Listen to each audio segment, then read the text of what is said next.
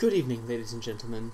This has brought you to the Focus on Fiction Radio Hour with Matt and Andrew. Alright, people, clutch your pearls, grab your rosaries, and get ready to do a deep dive. We're going into quote unquote Christian fiction today on Behind the Curve.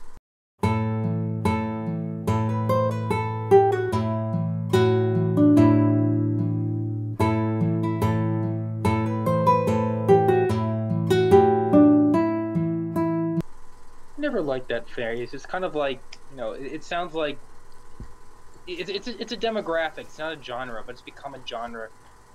E- e- exactly. It, it, it it's it's like writing. It's like if you put if like it's like if you put the Wizard of Oz and the Grapes of Wrath both under white fiction.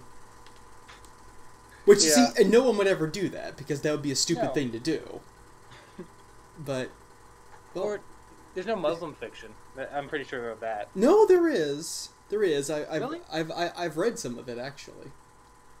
Oh, I Um, mean, like, But you mean what, what would you consider like um Arabian Nights to be be that, or or, or what? Or so probably just like I would I would consider the Arabian Nights Arabian fiction. yeah. Um, but as to sort of like, is there like Muslim fiction in the way that we have Christian fiction? There definitely is. There Also, interestingly enough, because of the way that some Middle East countries are run, Mhm. that they actually have like censored versions in a very interesting way of like major like Disney, Universal, Warner Brothers films and Oh, like yeah. books and everything. Yeah, like it's kind of funny. It's it's kind of sort of what we do with our fiction, not to get ahead of ourselves, but like it's it's kind of funny how like it's its own like sort of subgenre within within the Middle certain parts of the Middle East. Oh yeah, no. Certain parts of the Middle East, we even have that in uh, the U.S. and Canada. We have we have things that are censored from other countries. Usually uh, East kids? Asia. Yeah, usually Four usually kids, yeah, 4Kids. usually usually usually East Asian stuff. But yeah, Some of the stuff I kind of am glad it's. It's like it's not for that one part. I mean, you know, it's you know, you know, Europeans feel the same way about violence Americans do about boobs. It's just Yeah, they kind of preserve like the, the artistic nude thing that we lost in the Greco-Roman world. yes. Whereas we're like, hey, look, we're not saying violence is the answer, but violence is sometimes the answer. I uh, I think it's because in animation, it's like you have more, more of a focus on like modeling, and there's animation more popular out in the East, and like you a lot of times you had to draw like naked bodies, and that's kind of maybe not desensitize it, but like warms them up just that. I don't know, it's a theory. I can understand that because, like, if, if if you're exposed to something repeatedly, it loses its shock value. And to be perfectly honest, there's nothing really all that shocking about the artistic nudity of a human being. Yeah, of all the things that my generation's offended at, it, I usually do not find that something that'd be offended of, but maybe that's because we, our media was so censored. I don't know. I, I know have no idea. trail. Okay, so uh, meanwhile, to drag this back on the path that started out with Muslim fiction and drifted over to censorship and then somehow became about Canadians. Uh, but, um, Canada, wrong Oregon. okay. Vancouver, wrong Seattle. Seattle, where where X Files gets filmed. Where all everything gets filmed in Vancouver. That's true, though. That's true. Yeah. Um, right, we're supposed to be talking about Christian fiction. I think our problem is that like we well we've been trying to define it, but like I have some theories of like how it. Well, Okay. obviously, the elephant in the room is that I, I would think that it's it's not it's just not good. Uh, I I would agree with you. So, did did Moderate, either moderate. After after nineteen sixty? So I anyway twentieth century. twenty. So yeah, mid twentieth century. We'll, we'll we'll we'll peg it there. So, what about? Do you have a do you have a definition of it?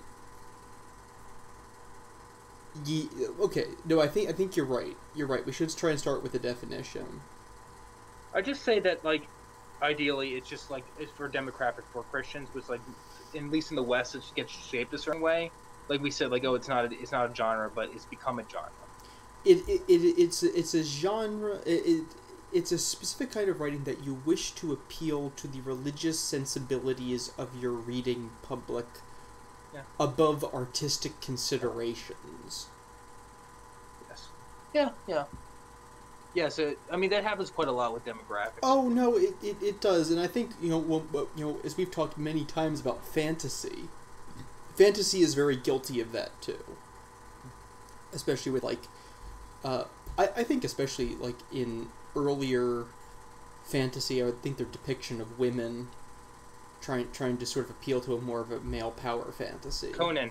Conan. Yeah, no, Conan for for all of you know the impact and artistic sort of legacy that it left, uh, Conan's depiction of women is uh, oof by modern standards. And for some weird reason, him and H.P. Lovecraft get get off, get off the hook, but for some reason, J.J. Keeley considers J.R.R. Tolkien racist.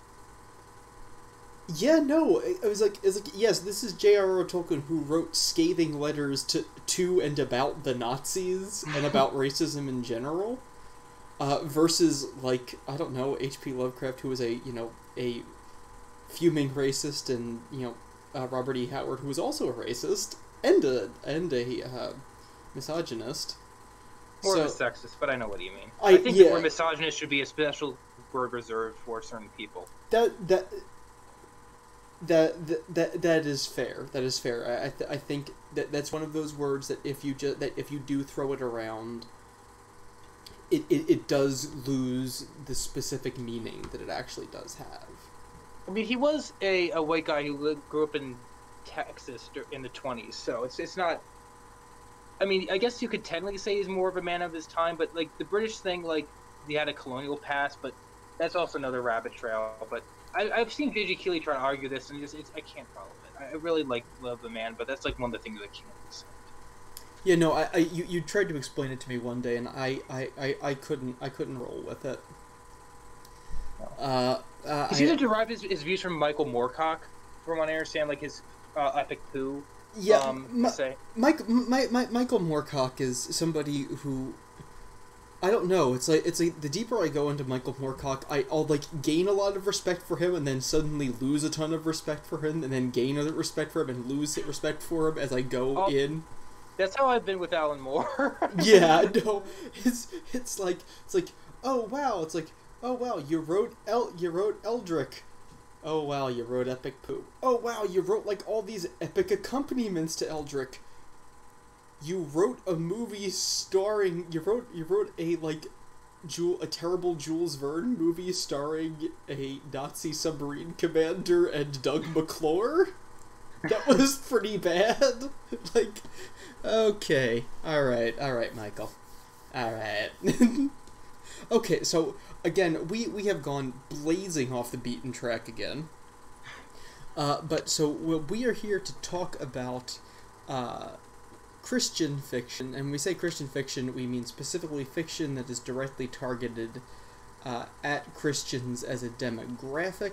Uh, maybe some examples I think would be useful. Like when I think of Christian. well, before that, oh, sure, go ahead. Uh, well, I was going to like segue into theories of why it not may not be good. Um, oh, sure, yeah, no, okay, yeah. Go for so it.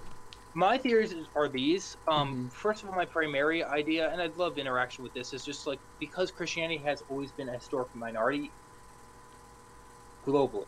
Uh, Anyway, maybe like in certain centuries of the West, you could argue against that. I mean, like, sort, sort of, uh, I mean, actual saved people, like not so much like culturally. Culturally, yeah, you could say that there was a majoritarianness to medieval Europe. Yeah, medieval Europe. Anything before before secularism, I would say, because because in the 19th century we started having, as much as atheism wasn't popular, we had actually a lot of spiritism in, in I don't know if you ever read yeah, about that. no, no, spirit. People going to church and then going to seances in the same week. Like to me, that's messed up. Yeah, you know? no, especially during the Victorian era, there was a lot of uh, dabbling in sort of witchcraft and stuff, and uh, in, in in America, in, in America, there has always been. This is something that I I think people do miss over a lot. But in America, there has always been a, a pretty good streak of uh, deism or atheism or agnosticism, especially. I think in America is has always been even like even among the founders, there was a there was a strong flavor of agnosticism Deism. and deism. Yeah, Which- I mean, I I mean, definitely think that like, They're they're, It's they're the kind of individual bedmates. thing, I think. Yeah, it's it's the it's the individualism. It's the uh, it's the yes, I will apply John Locke's view of self on the cosmic scale, which it wasn't intended to be applied that way, but it was intended to deal with. Hey, this is my land. I can grow how many apples I want on it. I can grow the apples I want. I can sell the sheep I want, and the king don't own it. I own it. Capitalism, True. ladies and gentlemen. But yeah, um, yeah, but, but like I would say that since there's always been like a minority of, at least now, let's just say, because like I feel like secularism has caused people to not wanting to identify, especially more and more like with a Christianity unless they absolutely have to on a cultural level. So because of that, we've always been a minority. That means by and large we produce less plumbers, also less writers. Um, yeah, no, I, it, it's from like yeah, no, like within the ge- with like in in the genuine like practicing church community. I mean, like one that is not just being practiced, for example, like from the control of like say you know, oh yes, the Catholic, the, yes, the Holy See is also our local government. Or like in like the American South or like Latin America, where like religion in general is like kind of a, a formal um, nominalist thing It's in a way. It's inescapable. It's an inescapable. Yeah, yeah. It's like you kind of like work within it no matter what. Yeah, that's Right. not what I mean. It's it's the difference between the social gospel and the gospel gospel. yeah, yeah. I think yeah. Which which is you know a uh, genuine diff. But no, I I, th- I think you're definitely onto something. So say, saying that the, that the true gospel has been a minority even within the historical practice of the church, even in something that we would call historically Christian, na- like Western Europe. Yeah, no, that I I, I, think that's fair to say that that that group of truly practicing people has always been a minority. I, I But I think because of that, like you get less fiction writers in the world at large, including like even like something benign like like plumbers or something, because they're just coming from a smaller people group. Yes, uh, I I would I would I would have to generally agree with that. Yes. So, That- oh, go That's my primary opinion. But like, um, did you want to have someone where your one of your theories? Well, so to to come from that perspective, I, I was thinking that um, the fact that we have a cultural sort of relationship with, um, I think in the West, especially, we have a, we have a cultural relationship with uh, Christianity, but not necessarily a spiritual one. Um, I, th- I think the fact that I think that makes it I think that means that the themes appear a lot more in literature. But that also gives more opportunity for the themes to, to be distorted or interpreted differently. To So- be deconstructed, which is kind of weird because, it, like, in a way, like our culture takes something like redemption and like kind of either does it better than we took it, even though that's a Christian concept, at least the way that it's been sold in the West, or just deconstruct it. or e- or even I mean you know uh, consider the the concept of a, of a Jeremiah. Consider even just you know what what is the most widely read Eastern book in Western civilization? It's the Bible. Yeah, so uh, you know even you know elements of Eastern storytelling, near Near Eastern storytelling, I should say rather, or mythology that was adopted from there, or even the li- kind of language that we use i- in the West is all very much sort of uh, based around, at, at least sort of the the connection, the widespread nature of the Bible in the West. yeah, just like uh, other weird things like good and evil. Like I know there's like other like Zoroastrianism, Judaism, and Islam. Like that's at least like the the Middle Eastern influence on the West, which is pretty interesting. Like that was a big thing in the '80s, but now now less so. Yeah, no. uh, Among sort of the cultures that were there before, there, there wasn't really that kind of. I don't want to a say. I don't want to say. of like the, the Quran and the Bible like made all this big deal, like oh we wiped out this pagan nation, that pagan nation, or Muhammad got rid of like this thing from Me- all the idols from Mecca and stuff like that.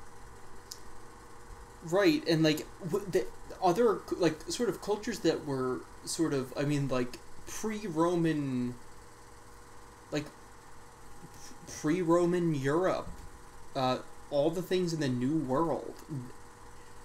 There really wasn't that concept of evil and good. It- like I mean, there there are you know with, within sort of a cosmic sense there was of like there being good and bad, but there really Yeah. wasn't that sort of. I mean, I, w- I would say that you know even of those you know four religions that, that they have very different understandings of what good and evil are. Of course, yeah, they're not interchangeable, but like I think it's also interesting that like a great book to read about this is called The Gifts of the Jews, of how like a lot of a lot of other like cultures like evil and good are kind of intertwined, like Shiva, God of Destroyer and Creator, like seeing that sort of the same force. the yin and the yang, things- the good and the evil, and the evil and the good. Yeah, or like things were seen as sort of like as a cycle, like uh, like reincarnation or just cycle of the universe, which is another thing in Hinduism. But like you had like an, an end to history Mhm. with with with Christianity. You had revelation, and you were literally told the end from the beginning, as, It- as like prophecy. This idea of, of prophecy, like you know, like the the God test from um what it- what was it uh Balak, not Malak- Ezekiel or whatever. Uh, a linear world versus a circular one. Yeah, basically. So, sort of all these things. I mean, uh, possibly the only the only exception that I'm aware of to the linear world history would, would be um, the Norsemen. The Nor- the Norse, because the the Norse had a beginning, had a clear beginning and end to the universe. But other than that, I can't, I can't think of any society that wasn't in some way cyclical. Either that or their records were lost. I don't know. It's a possibility. Oh, heavens! That's that's another rabbit trail that you don't want to get down. Is the what was in the records that this civilization lost? We don't know. But that that is a good point. Um, I think yes, the West and has been integrated with Christian ideas, and that Jew, Jewish and Christian ideas are very unique to the point where we can't understand that. But like, since there is like a certain church that does certain things, Mhm. that my idea was that it doesn't make sense that how we have all this free. Christians always had the duty of saving souls, getting justified. I mean, getting sanctified. But now we have all this free time, and it seems like people are taking that to either binge watch or create create new fiction. But that doesn't apply to us. Like, you know, you know what I'm saying? Like, you think that would actually create more of an opportunity for us to create create fiction, but we really haven't latched onto that.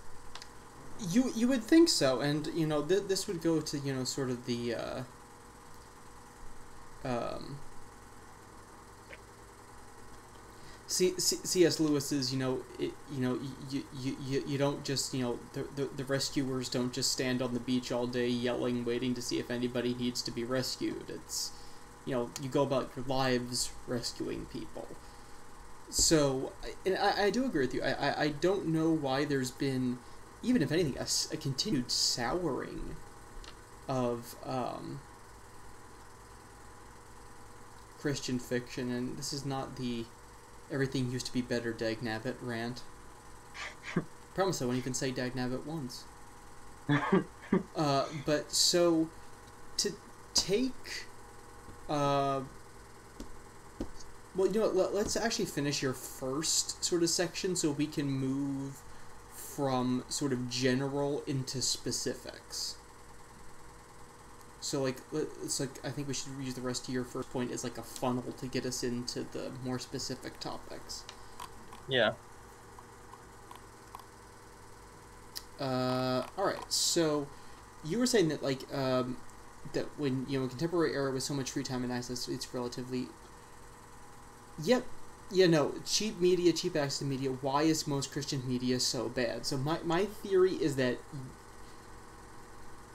you're not trying to make art. Is my is is of my main theory is you're not concerned about the art of it. You are concerned about it being used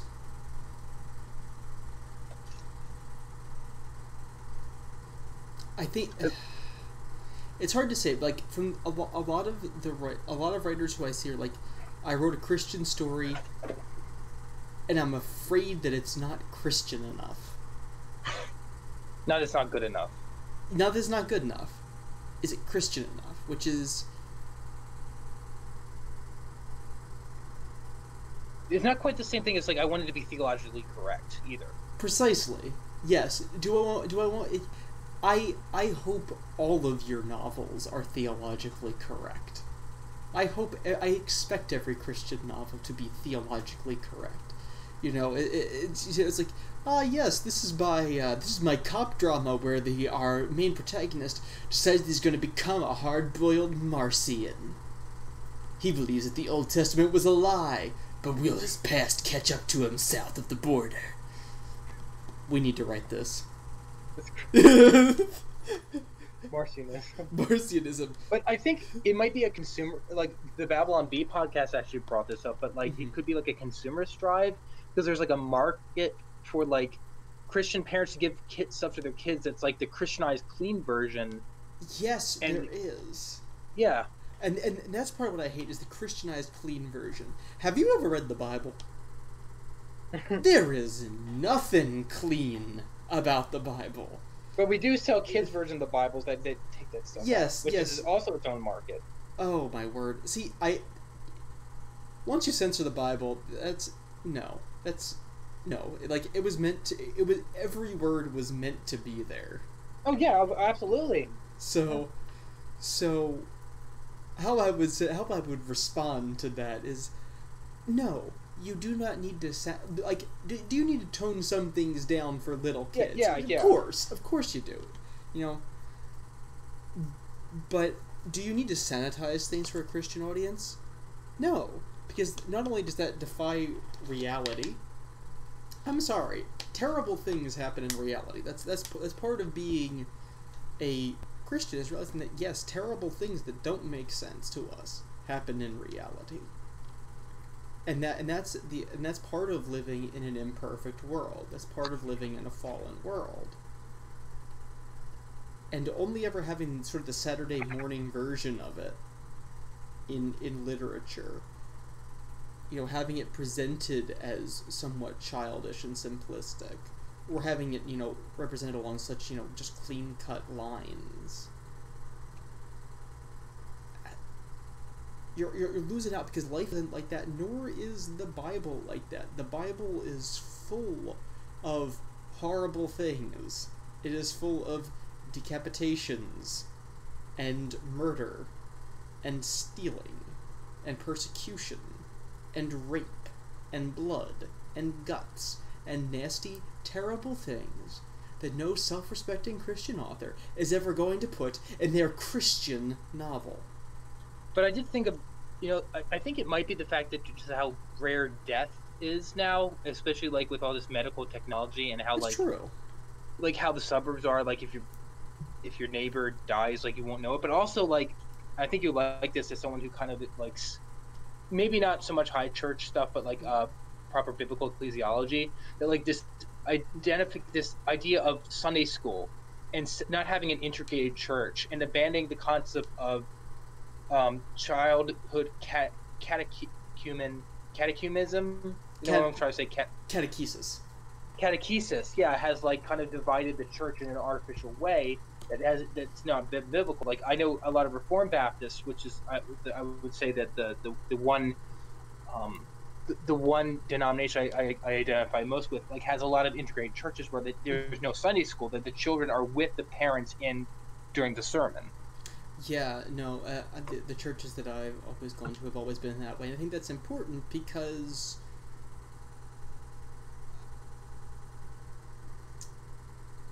I mean, part part of the promise of of you know the sacrament is that yes he comes through word and sacrament and if you're and if you are apart from both of those things like in Sunday school, I mean, yeah, albeit you could be getting the word, but are, are you getting you know the full experience? Are, are are you being part? You're not being a full part of the church as you should be expected to be.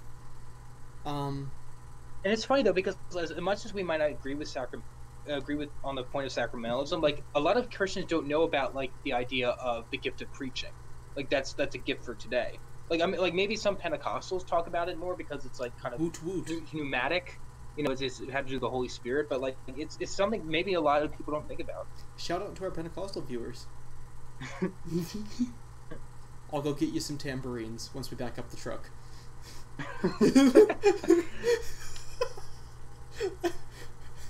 uh, it's been a long day. Uh, so, um, eventually, I guess this is all kind of just narrowing down to the big question, which is why is Christian media so bad? So you asked it is why is Christian media so so bad, and I wrote it in my bullet pointed notes is why is everything so dang cringy? so so I don't know, do you want to answer that now or do you want to actually save that towards the end and work through some of our other points first?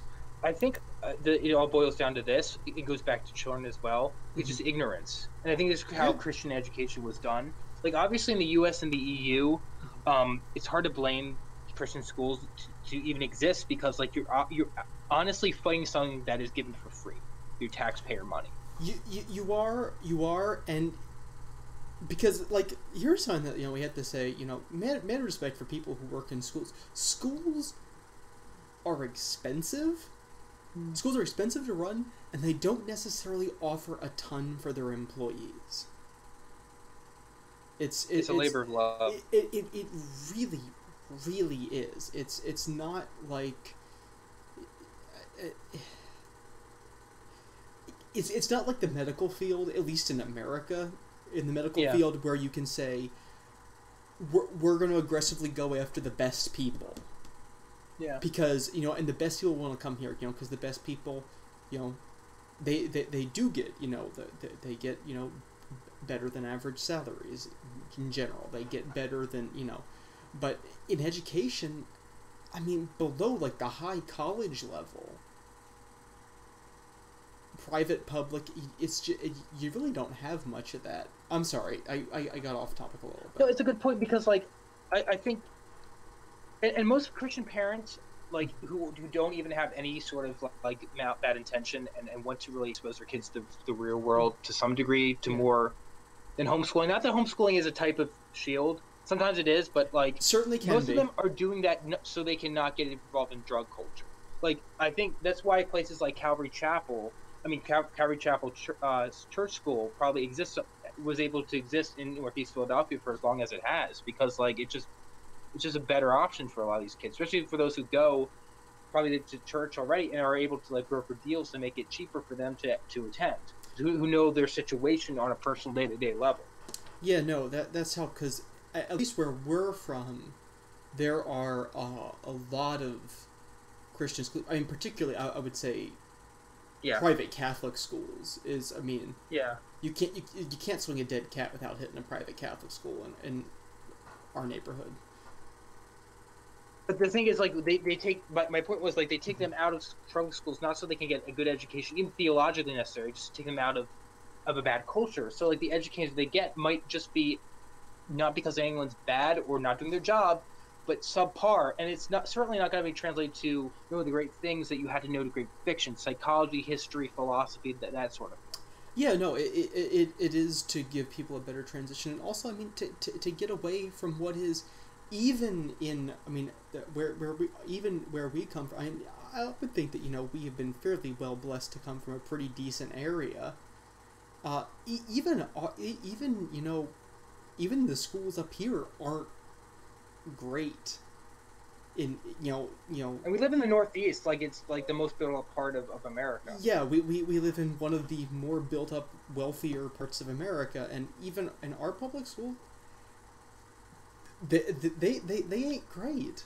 So, but so th- there's this struggling system, but the alternative is very very expensive, and it's also hard to access, especially when you're having it you know put up against something that's free, and you're gonna pay for it whether you use it or not.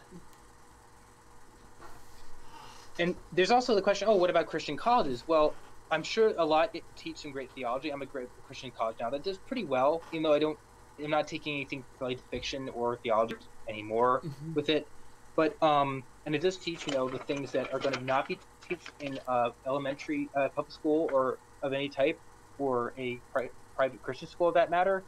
But from what I understand, a lot of seminaries and Christian schools get like progressively liberal, especially as they acquire like government money, and they basically have to listen to what they do to keep their Pell Grants and whatnot.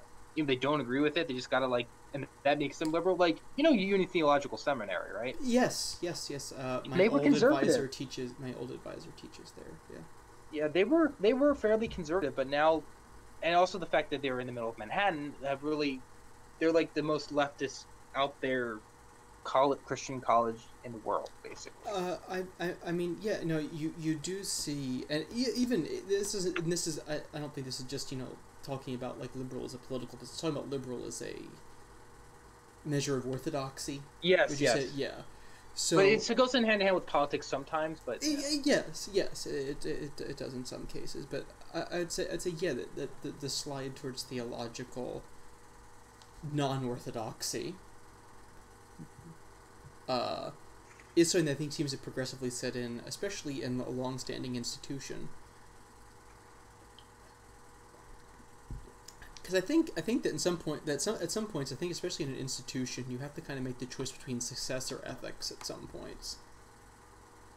yeah, And it's like, oh, do we stay true to ourselves? So did I just call most of the big colleges in America sellouts? Uh, I guess I did.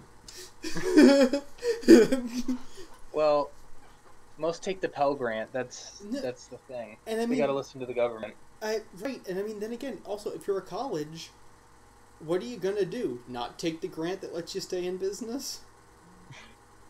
It's only a matter of time. I hate to say it. Yeah, no. I mean, also running a co- I know people will complain about like, oh, the cost of college, oh, the cost of you know, Tuition, Tuition. the cost of room and board. And yes, it is steep, but also very few colleges are profitable, let alone make a lot of money.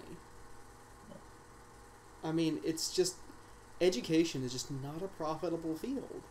It's an important field. It's just not that profitable. And it's And colleges usually they, they where the best salaries come from anyway. yeah, and it They are our best hope, but they're not a good hope. I'll, I'll say that.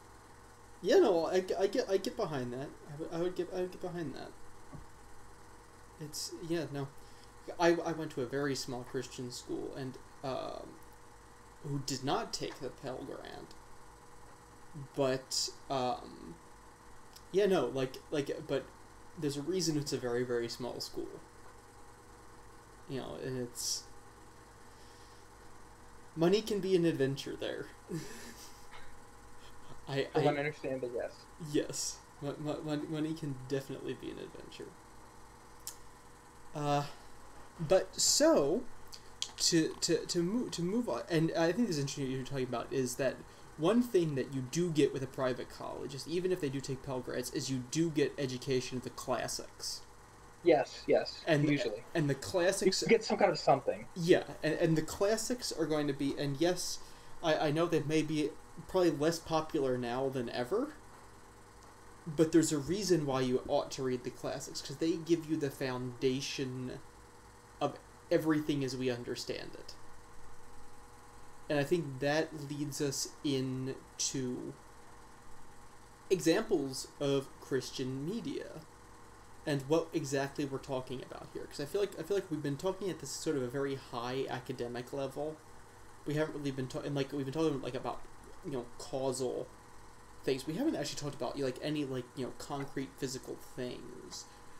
But so uh, I think we're going to dive into the the borrowing from secular media, the Christian education, and Yeah, I think that's the reason, the way that this is interconnected with that is that like you need to know fiction to write it. Like you- you need to know what to borrow because sometimes a lot of Christian fiction like kind of copies off of stuff by accident without knowing it. Like, or or they're just not interested in it in it to be in, in general to know what's good out there and, and fiction is worth making. Like, would you know that fantasy is worthwhile if you hadn't read Redwall or Lord of the Rings? Uh, no, I, I, I, I'm not sure I would have. I mean, like, w- w- like, would, would you have known, you know, something, something science fiction? My brain just went blank. But like, I mean, Interstellar? I don't know. sure. I mean, like, but like, comparatively.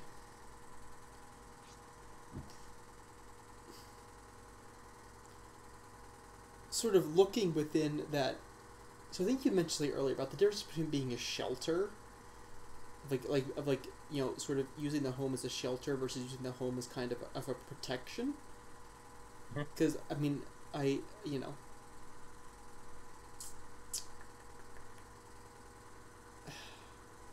All right, let's let, me, let me sort of bring this back around. So like we were talking about sort of like specific examples. So I think something that we could try and do with that and borrowing for me it's like kind of like kind of talk about what we consider to be Christian literature, like like what we consider to be Christian with a quotation marks, with a with a quotation marks literature. Like like the first thing I kind of think of is I kind of think of like I think of like Left Behind. I think of Bibleman. I think of the Veggie Tales. VeggieTales. Yeah, see, that's a real purpose, our uh, real destiny in life to make sure that uh, Christian media comes up with something better than Veggie Tales before Christ returns. VeggieTales is still the, Ve- VeggieTales is the crowning achievement of late 20th century Christian media. How does that make you feel? Hey, they predicted meme culture. That's true. A lot of Monty, they did parodies extremely well. they did. They, do- they, yeah. Um, Bibleman. Did you ever watch Bibleman? yes, Oh, Inter- I thought it was made in the '90s, but I think it was made in the 2000s. Believe it or Not not, that was in fact made in the 2000s. um, let's see what else. McGee and Me was a, was a little bit of a cut above. A little bit of a cut above. Hmm. Yeah, Not- Adventures in Odyssey that was very good actually. That seemed to really know what it was doing. I, I, I have heard I have heard many good things. I, I, I never got into the series myself, but it does have a it does have a lasting impact on many of the people who who uh, achieved it. Uh, and I will say, focus on the family radio theater. They did some excellent work. They, they, they, they did some excellent audio dramas. And and I think I think part of why that they were excellent is they did not just stick to like safe Christian stuff. Is that they did is is you know I can't believe I'm saying about focus on the family, but they actually they actually took a leap. They did you know stories. They they actually did a series that was about murder and demons and like spooky stuff that we're afraid to I talk about. Listened to that before. What was it called again? Um, Father something. It's, it's not Father whatever from G.K. Chesterton. Not Father Brown. Uh, also, Father Brown, you should read those. That's beside the point. The like, they're they're not earth shattering, but they are fascinating. Um. Except like the last one that he wrote was really really good, um, but I don't recall. I don't recall, but it was ac- it was actually some very good, some very very good radio theater there. I think objectively good, and it held. They also did a well. Dietrich Bonhoeffer thing, which I, I tried to listen to, but I couldn't. I, I'd listen to it again. That was really. It was good. That, Yeah. That's that. That was actually a very good one. I have listened to that. Yeah. Uh. So, to, to, so so now as you can see, we we we kind of hit on what we think you know to be, uh, Christian. No, like and. Or like I'm thinking like Christian movies are Christian movies. For the record, at least they've tried to be better. God bless their hearts. Uh, like, okay, there, there were some good ones, there were some bad ones. But, um, I think it's because a lot of like Christian filmmakers are from the South, and they're like outside of Atlanta, which they probably don't have a lot of good access to. Like, there's really no good production capabilities, and there's no there's not a lot of writers in the South enough to like like the Kendrick brothers. You know, like unless you live in Charlotte, you're not gonna have like the, be in the cutting edge of like we like we live again. This is like a north south thing. Like we live outside of Philadelphia. Like if there's something new, you like know about it. You know. yeah, we, we, we get it first. Whereas, like, I mean, what cities in the South are on, like, the bleeding edge? Atlanta, Dallas, Houston. That's about it. Austin, maybe? Maybe Austin, too. Miami too. There's more of a Latino thing down there, so Miami, they might be a little bit more disconnected from American white culture. Miami does its own dang thing, as far as I can tell. Like, I don't know. My, my, so maybe they're, Miami they're thinks inside. Miami thinks it's still the '80s. That's true though. I bet you if the Dolphins won the Super Bowl, three quarters of the city wouldn't even notice. If the Marlins Stadium blew up tomorrow, everybody would go. Didn't there used to be a Walmart there? That's probably why they used the Super uh, had held Super Bowl there this year because no one was using it. yes, they finally moved the, our favorite sculpture, nude tuna descending a staircase. oh, this is so off topic. Um, so, um, one of the things I think that we have to talk about is sort of uh, that Christian literature dividing from things that we would describe as as literature with Christian overtones, because um, I think if you know we look at classically Christian writers from the first half or the middle of the twentieth century, we have some people who have some legitimately serious um, literary uh, street cred. Oh yeah. Yeah. So you so you have C.S. Lewis, Tolkien, Dorothy Sayers. Uh, I never read her. Yeah, uh, she's actually quite good. Dorothy Dorothy Sayers, uh, G.K. Chesterton, and uh, from America you have Flannery O'Connor primarily. So um, again, all these authors were uh, very devoutly, um, excuse me, uh, religious, but they but none of them wrote what we would call Christian literature. Lewis and Tolkien are both always put under fantasy rather than religious. Dorothy Sayers and G.K. Chesterton wrote. Um, they wrote everything. Mysteries or drama. Actually, they both wrote everything. And Flannery O'Connor wrote. Putting that woman in a genre is like trying to, you know, catch soup with a sandwich. uh, she. Uh, let, us just go. Let's just go with Southern Gothic. Okay, fair. So definitely a subgenre. Yes, all of them are religious, but all of them were all of them wrote literature with strong Christian overtones. But they also have a very high level of respect beyond the Christian reading public. For example, uh, you know Flannery O'Connor is considered, you know, among graduate school classes, she's considered one of the American masters of short fiction she and uh, like North American short fiction, like she, Alice Munro. Uh, or there's some of the female authors who are considered to be you know masters of their genres. And then, so you think about that, and Alice Munro was very much not a Christian author, but that is beside the point. Uh, but so it went from be, so from that that is what we had as sort of our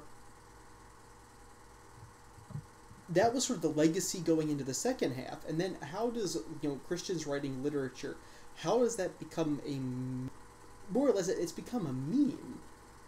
And i find it very interesting also i saw a uh, I saw a doctoral presentation by a lady who um, studied Lewis. I, I don't recall her name. She wrote a book about him. It was an interesting book. I can't remember the name of it. Um, it was a good presentation. You're going to say, and they're saying that how much sort of like uh, the kind of Christianity that we were they were talking about, you know, clutching the pearls and you know, shielding the home, and we got to turn it down. How those people all kind of got you know to use our modern vocabulary got put on blast by so many of these writers. Uh, you know, uh, C.S. Lewis, you know, was. And C.S. Lewis blasted these people. Uh, Tolkien took on a lot of people like that. Uh, Dorothy Sayers once said that the church is a, that the church is asleep, and then they were fools. Uh, she she said that to a church. Uh, Flannery O'Connor once said that her audience. Flannery O'Connor, who was a very devout Christian, she also had a very colorful manner of stringing words together.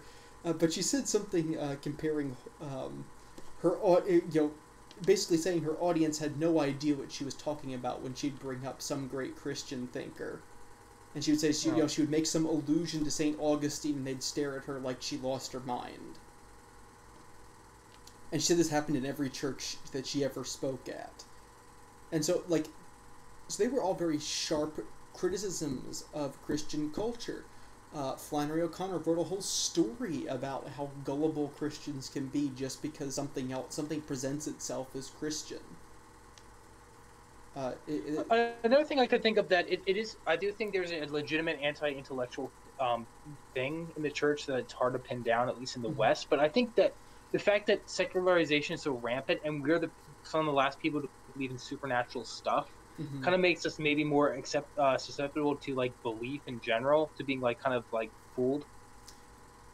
Yeah, no, that's true. It is is I think there is sort of that genuine hope of saying, "Oh, well, maybe this one's right." Hey, but like, hey, it ain't great, but we at least have this. We're like Sonic fans clinging on to that one good game. no, I think glory days. syn- what was that? The glory. The glory days syndrome. Yeah, it is the glory days. Uh, of the glory days we really don't know about because, like, how many people you think have read uh, The Man Who Was Thursday? In general, in general. Uh, probably fewer than have recommended it on an online thor- on an online forum. Yeah. I, I myself, I haven't actually read it. I, I mean, I, I studied passages from it in college, but I never actually read the whole thing. Um, for me, I kind of see that anti-intellectualism in I, I, I, would say, you know, things that have more of a puritanical streak in them, or, or, or sort of. I, I- I don't want to use this prerogative. I don't want to use this universally, but I would say low church Protestantism, and, and I don't want to say that in like oh, well, you know, the further you get from Catholic, the closer you get to Satan. That's not what I'm saying. What I'm saying is that I know that. yeah, but th- but there is sort of a say in, in sort of I would say in like I would say the primitive movements, the the fundamentalist movements, which I would argue that the fundamentalist movements really aren't fundamental at all. They're actually getting away from the fundamental orthodoxies. But I, I would say that's where I kind of see the anti-intellectual streak is in in fundamentalism, and these are the same kind of people who are going to argue that like, well, you know, if you let your children read, uh, you know, fantasy things, they will grow up to be Satan worshippers, and you all go to hell. I think maybe something subtle that um came out of that that was there was sort of this Christian antinomianism, I mean, not antinomian, oh, um, Christian ant anaco- that has come out since the Reformation. That like um sort of a fear of, of, of images that came out like from certain certain abuses of, of praying to the saints oh, that sort of the that even in art done by Protestants, that there was like just a big focus on landscape paintings. I think I almost want to say that's why it caught up in Europe because it's like there was this big movement from Protestant writers and I mean artists to, to, to make that sort of thing. I iconoclasm. Yeah, no, I, I, I- agree. I, yeah, no, I, I think that is a that is a huge root of it. Is is the uh, iconoclasm, is a root of that, and I mean, to uh, sort sort sort of to sort of quote Flannery O'Connor, what was it? She said, if if if if the symbol has a meaning, then why do you want to get rid of it? And if the symbol has no meaning, then the hell with it. Why did you want it in the first place? So if it has a meaning, why do you want to get rid of it? If it doesn't have a meaning, then why did you have it ever to begin with? So I think there's also this guilt by association. I don't mean to interrupt you, oh, but go like for it. that like yeah like when when you like sort of are like t- things consider certain things as dirty you're not gonna like try to eat the chicken and spit out the bones like a lot of my stuff is um taken from Shane Carruth, the Mhm. Wachowskis. Uh, Shane Carruth is uh, a sex offender, and the Wachowskis are self-proclaimed transgender leftist, possibly New Agers, and I'm okay with that. That and I still love their fiction. If the Wachowskis were Muslim, I would still read their fiction. But a lot of Christians could not do that, and they could most certainly not take the fiction and, and learn from it. Uh, I I learned this by going through a class on uh, is Islamic sociology. Um, just watching, cr- wa- sort of watching uh, a, a class full of Christians try to comprehend the world, like world history told from an Eastern, from like from like a Near Eastern perspective, like from a perspective like, oh, like you know oh, you know, you have Charlemagne. We have the early caliphate. You know, like Yeah. like if you think about that, it's like it's like but people are like kind of freaked out by it. It's like or like or like reading Salman Rushdie or reading Asian literature at, at the really small school that I went to. It's like, oh yeah, we're, we're gonna we're gonna dig into you know, oh hey everybody, we're gonna learn how Taoists think, and and pe- pe- people seem to get you know, wigged out by it. It's like, oh my goodness, even if we're approaching this, well, why would we need to do that? Even even like you get some reports, people saying like, well, why would my child need to learn that? Would my child need to care what a Taoist thinks? And I, and, and I'm saying, well, you know, I'm, I'm I'm sure the Taoists are saying, yeah, why do I need to care what a Baptist thinks? But it's kind of funny, like it- it's kind of more disturbing that this is happening in like a place like suburban Philadelphia because like like it's like how you are how close to like Chinatown and stuff. Like it's just kind of it never happened with me, and I don't know why, despite being a homeschooler, because I'm curious or something. But I don't know. like ten percent of I, I went to a I went to a small art school, but uh, like a large population of a large group of our population was it like is Asian, not just like of Asian descent. I mean, like actually, like they came directly from either you know China or uh, I almost said North Korea, South Korea, to study at my school. And, and my school was an art school, so you'd kind of expect that people would be a little bit more. Yeah, like saying like, oh, why, why, would- why would we study this here? It's like. The, these are the people like th- this is the history of the people who are in the room next to you, like, and you It's so you, yeah, you, you don't you don't even and it's like I actually had listened to one of my professors talk about the battle that she had to go through to even get uh, African literature on the curriculum. And it's like people were saying, "Well, why would we care? Like, like why, why should we make our people study this?" It's like because it matters. This is Yeah, like, like you might just like it too. it, it, it, it- even if, even even if you don't like it, I mean, you could learn just whole other perspectives and things. So I think that you're definitely onto something. A fear of other perspectives. It's almost like the if we present something else, it, it's it's something not a fear. It's if we present something else, people might think it's better than us. It's a Christian safe space. It's an echo chamber. Exactly, exactly. That's the issue. Real life is not an echo chamber, kids. So I think this kind of comes up to a wrap up of how will we be different. I think one of the reasons is that we're we're, we're Northeasterners. We're, we're, we're, Philadelphians. You know, like we we know like Philadelphia is the second biggest uh, city on the East Coast, only after New York. Even though Washington's getting up there by by greater area anyway. But like, yeah, like we- we're forced to deal with just not just um different ideas, but with bad ideas, like uh, hostile ideas. We're forced to to deal with hostility that like like your your WASP Baptist in in Kentucky isn't going to deal with. No offense to Wasp Baptist in Kentucky. Yeah.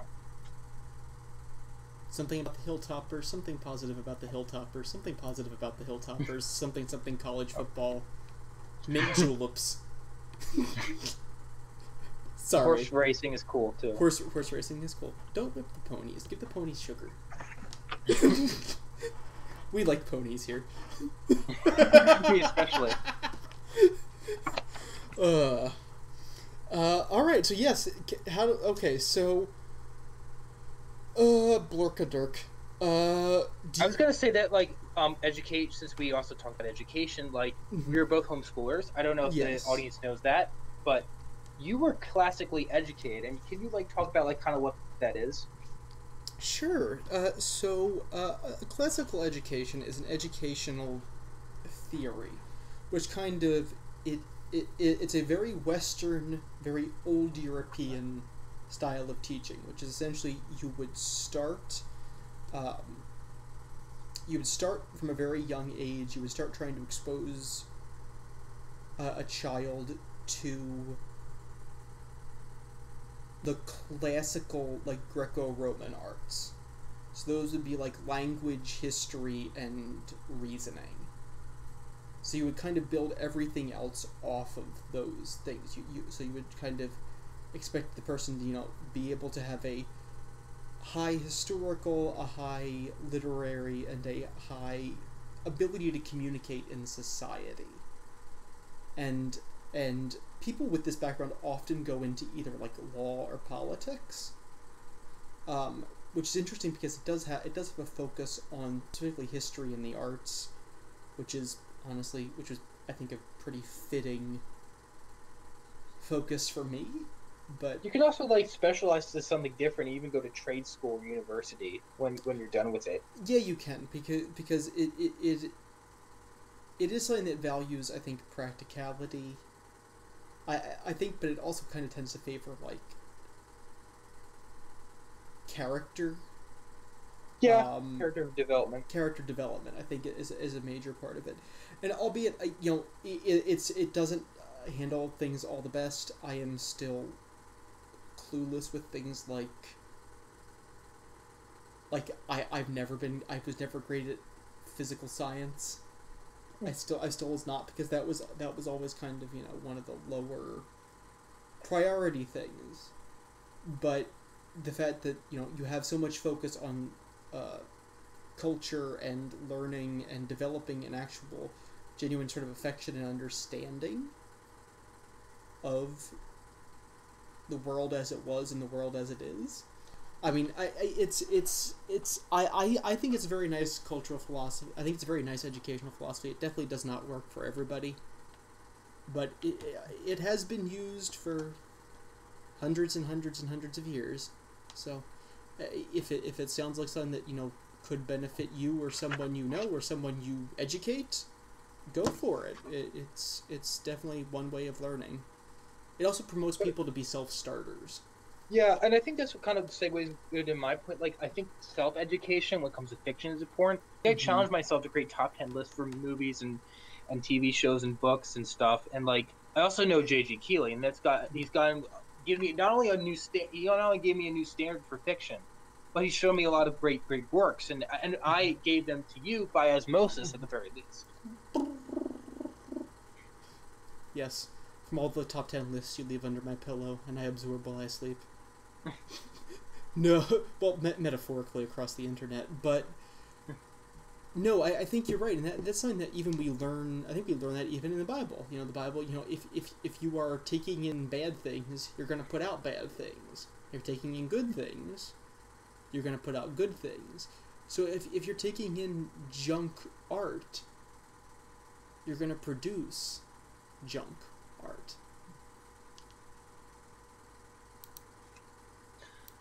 And I think ultimately the reason why we will be different is because mm-hmm. we're trying different ideas in general that I feel and this really excites me that I feel like fiction at large maybe is not has not thought of yet or hasn't been popularized yet. Like what if someone were to make novel ideas about anthropomorphic animals or what comes after postmodernism, Or what comes after cyberpunk and, and stuff like that? Mhm. Yeah. Why why not innovate, dream like the history of Christianity is filled with innovators and dreamers and thinkers and people who challenged things. Galileo was a devout Christian. He challenged what everybody in the church thought. You know, uh, Louis Pasteur changed how we drink milk, which sounds like uh, not quite a big a deal as it really is. It saved lives. That's all you gotta know. Yeah, no, like, the, you know, as as much as people will probably, some people will not like this. Jesus challenged the way everyone thought. Like, like Yes. that, that that's part of what we do as Christians. Christians, we are inherently radical compared to the rest of how the world thinks, and we should not be afraid of that. We we- should not be the we, you don't need to be the cuddle, cuddly living room teddy bears. It's it's okay to be lions and tigers. It's it's okay. You Not literally, but that's that's another story. Fair enough. If you want to dress up as them, I think it's a matter of Christian freedom. That's right, you heard it here first, first folks. Andrew is giving a biblical pass to furries. but, to get back on topic, what I'm saying is, I think essentially saying that GJ, G, my word, GJ, you got me mixing up my all my initials, man. so I think it's like a, rip, a rapper. GJ, GJ in the house. it's my favorite anime. Um, that was like, it's like five references in one. No, um, but G.K. Chesterton said that you know the, the life of a Christian does not have to be some dour, ordered, constant, you know, walking around. You know, when you were saved, you you you you weren't saved. You you weren't thrown in a cage to keep you away from the bad things. The bad things were thrown in a cage so that the good things can run wild. The good things can run amok. Let yourselves go run amok, Christians. Go. Get wild. Dare. Dream. Freak people out a little bit. So I think this comes to like how we we're going to approach our fiction. Like I, I definitely would say would say that even among regular fiction, my, my fiction is definitely wild and unique and well, I, I plan to be. Now I'm kind of bragging, but my approach is something called the John Skill the John Cooper Skillet approach. You know Skillet, right? I do, and I love I love the example you use for this. It's perfect. Oh yeah, so John Cooper, he's um, a professing Christian in uh, really good theology too, um, pretty reformed. But um, he, he does uh, the Christian metal band Skillet, and he doesn't think that everything ought to be Christian in his songs. Like they're not all about God, but he takes every opportunity in his interviews to talk about the gospel, to talk about God and stuff like that. And to me, I like that because like not like two of my major works are about Christianity. My second planned film and uh, what Michael saw, which is a graphic novel I'm working on. But one is like Black Swan, Red Dragon Kings. Like that's that's saying like conservatives. Like I'm, I do not mind it being secular. Like I, I like what what Skillet has done. Like has has come forth and and shown an example to other believers. Yes, all truth is God's truth. Thank you, Augustine. So you think you're going to be something like that, like more of a John your approach, John I, Cooper? I, I, I think so. Yeah, I mean, all, all my stories are written from a Christian perspective. Um, but they're not all necessarily about Christianity. No, they're they're not all about Christianity because you know, not everything needs to be an allegory. Just because C.S. Lewis and Jesus did it really well does not mean that the rest of us can do it as well, or that the rest of us ought to do it in everything we write. I was yeah, like my a lot of my stories about Christianity in the future, but it's real world Christianity, not an allegory. Sure. Yeah. No. I, I was just thinking about like uh, there was there was a book. Um, uh, I don't know if you were at um, if you were part of the uh, epic read through of. Uh, there, the, there was there, there was a gentleman who I, I saw as a speaker at a conference a while ago, and he, and he wrote a number of fantasy books and I don't I don't want to give them ne- negative attention because uh, and because the the, spe- the speaker is genuinely a wonderful wonderful man. I think I know who you're speaking about. Yeah, but um, the books. I mean, from a writing perspective, they are a disaster. It is. It is. It's laughable it, it's not. It's not. The, it's not that you know what they're saying is laughable. It's just that every everything is just such a thinly veiled allegory. It's not even thinly veiled. It's it's it's a clumsy allegory, and so even though like even though we may look sort of down on that from an art perspective, that that was still being used to accomplish a purpose. So while I think that we do need to look ahead. We need to look higher. We need to look towards, you know, making genuinely edifying art. We need to look towards making art that lives up to our genuine creative potentials as we are sub creators. We are endowed with God's creative spirit. That, that, that is what the spirit of God is. That is how we are in his image. Rather than, you know, we, we don't, it's not because we look like God but even if people aren't as gifted, even if people are writing things that aren't as good, even if things are making things that people will meme at, even other Christians will laugh at because they are recognizable as being bad, we should also not be negative to those people because those people are out there for a reason too. So that that, that, that, that, that is that is that is my sort of caveat to our, towards our rather negative discussion. True. So, uh, do you want to finish up with our questions? Yes. Uh, I guess. I'll go first. Go for it, my man. So, do you think that the best writers come from very northern, rich, big cities, if only because being cooped up inside a long time forces people to consume and make media more, and being in a big city gives people the resources to consume and make great media? Some examples were like Coen Brothers and Terry Gilliam from Minneapolis, Wachowski's from Chicago, Eastern German, Polish literature. And by the way, this is kind of more of a European thing because like the South was destroyed until like the 1960s. Mm. And the West Coast wasn't much of a thing until recently. But I see this more. In, you know what I'm saying, right? I know, I know what you're saying.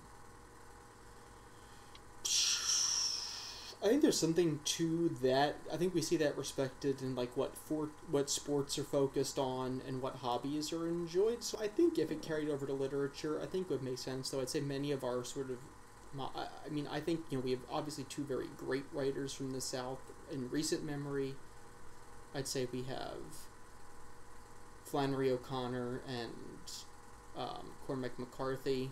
You adopted the South as a New Englander from Rhode Island, but definitely Southern.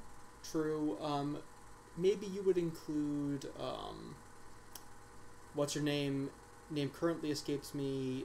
Uh, Shirley Jackson. She was a Southerner, I believe. Um, maybe, maybe I, I would I, I would say I could see that as a thing. Probably sort of up until the internet age, maybe.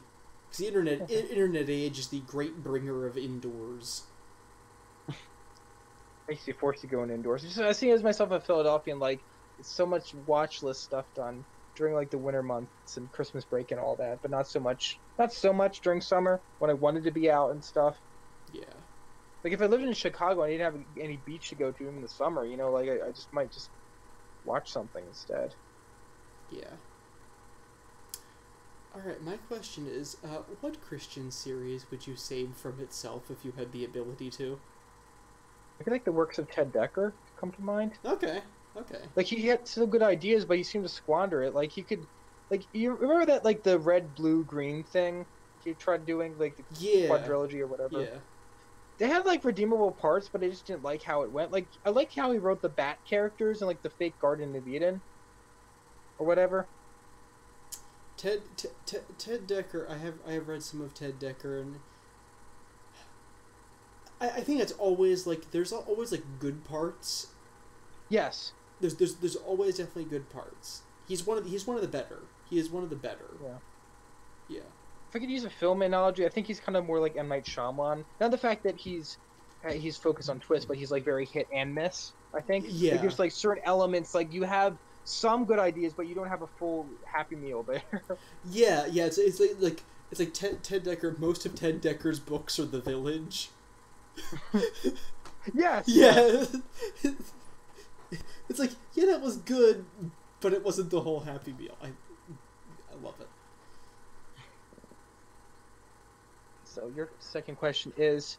More than uh, 35 episodes into our podcast, what would you say is the main difference in our fiction, or at the very least, in our approach to slash philosophy of fiction?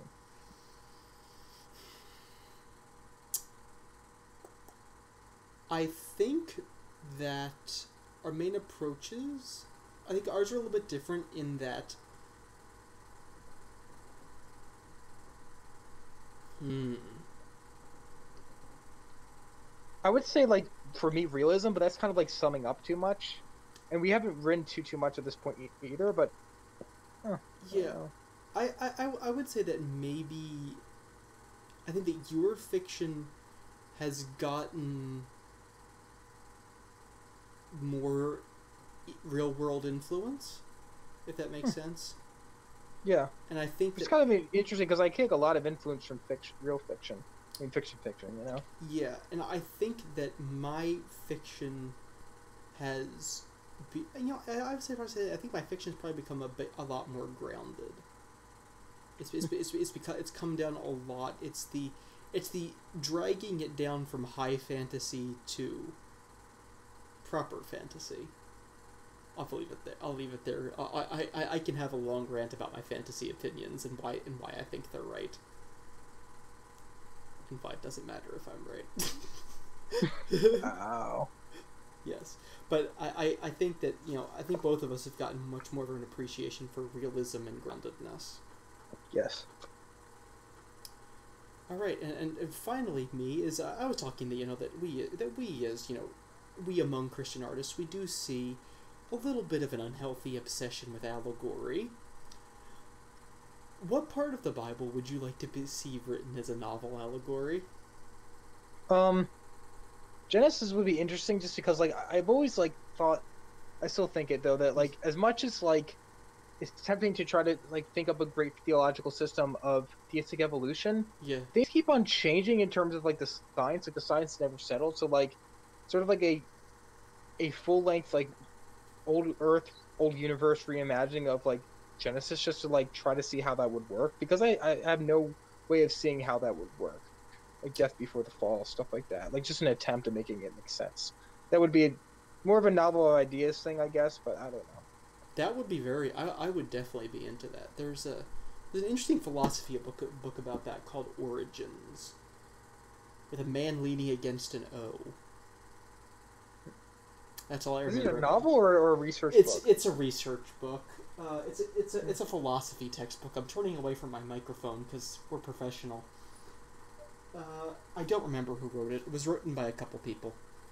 I think Okay. one might have been a woman. I don't know what that has to do with it. I just, I just remember I just seem to remember that one of the names in the front was a lady, which is not all that common in philo- in like Christian philosophy textbooks. I might have read something like that, but I'm not sure. I'm not, not quite sure. I'll, have to hunt I'll send you a picture of it. There's like a thing uh, in in, uh, in my school, actually written by some people for, from Messiah College, but I'll tell you, I'll show it to you later. Cool. All right, so uh, I think this is us reaching the end of our podcast where we talk about Christianity, Christian fiction, education, North and South. Are we still fighting the Civil War? What do people do in their spare time, and what do Taoists really think about Baptists? Here to answer all the big questions and a lot of the smaller ones. This is Behind the Curve signing off. I'm Matt.